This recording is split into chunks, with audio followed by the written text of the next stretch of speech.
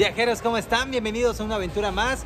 Trini y yo les saludamos desde la plaza principal de Mérida porque hoy es lunes y como todos los lunes se realiza en punto de las 9 de la noche un festival gratuito. Digo, un festival porque es una fiesta. Es una fiesta para todos los turistas locales, nacionales e internacionales en la tradicional noche de vaquería. Así que vamos a conocer un poquito más de esto para que ustedes también lo puedan vivir. Si viven en Mérida y no lo conocen, pues tienen que venir. Y si van a llegar a la ciudad, tiene que ser un punto obligado. Vámonos. La vaquería transmite todo lo que son nuestras tradiciones, que son fiestas paganas y la fiesta tradicional que se combina en ello.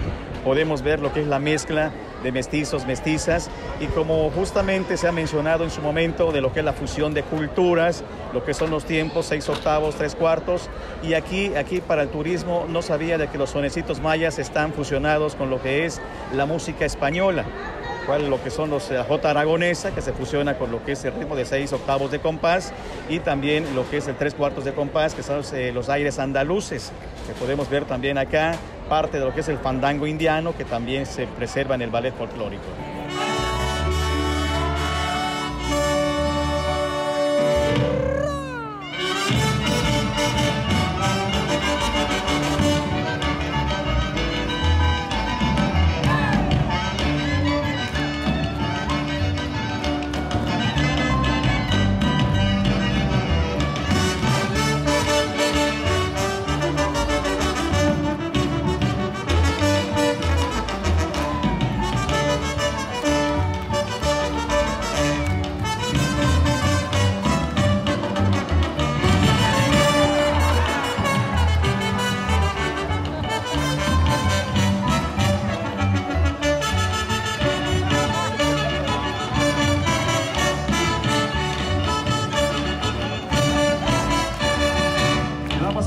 señoras y señores, esta noche.